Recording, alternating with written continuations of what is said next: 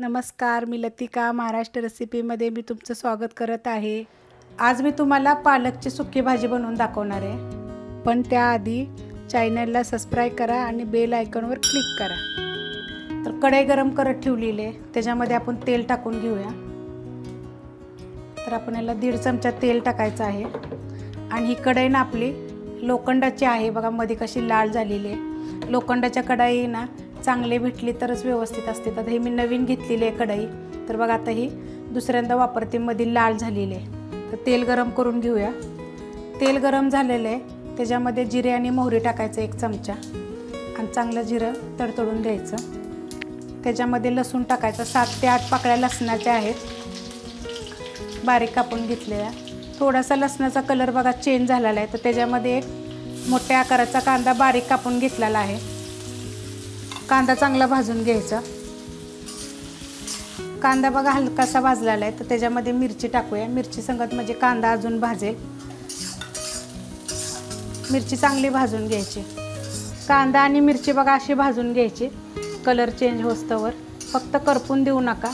आणि एकदा भाजलं की बारीक गॅस करा. पालकच्या दोन जुड्या आहेत बघा. धुवून स्वच्छ कापून घेतलेल्या आहेत त्या. आणि पूर्ण पाणी नितळून घ्यायचं नाही तर हे चाळणीमध्येच ठेवलं होतं बघा.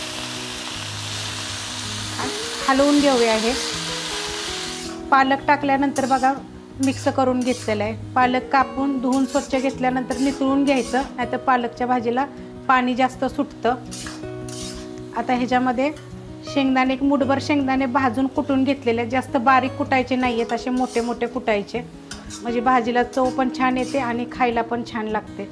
तर ह्याच्यामध्ये आपण थोडंसं मीठ टाकून घेऊया. चव्यानुसार मीठ मिक्स करून घेऊया.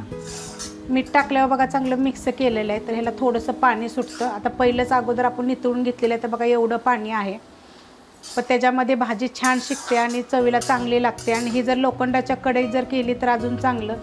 चवीला अशी छान लागते आणि आपल्यासाठी शरीरासाठी लोखंडाची कढई चांगली असते. की त्यात भाजी म्हणा काय म्हणा बनवलेलं ना तर चांगलं असतं. तर आता ही आपण एक दोन ते तीन मिनटं आपण असं ठेवूया. जरा जरा वेळानं प परतायचं. तर खाली लागू नये म्हणून ह्यात काय पाणी जास्त राहत नाही आणि भाजी झटपट होते. दोन ते तीन मिनटं झालेले आहेत बघा. एकसारखं असं थोडं थोडं थोड्या वेळानं असं हलवत आलेली आहे. तर बघा आपली ही सु सुकी पालकची भाजी झालेली आहे. एकदम झणझणीत अशी आहे आणि एकदम छान लागते. आणि ती जर लोखंडाच्या कढईत केली तर आणि चवीला वेगळी आणि शरीरासाठी चांगली असते. तर तुम्हाला ही रेसिपी आवडली तर एक लाईक करा सबस्क्राईब करा कमेंट करा आणि शेअर बी करा.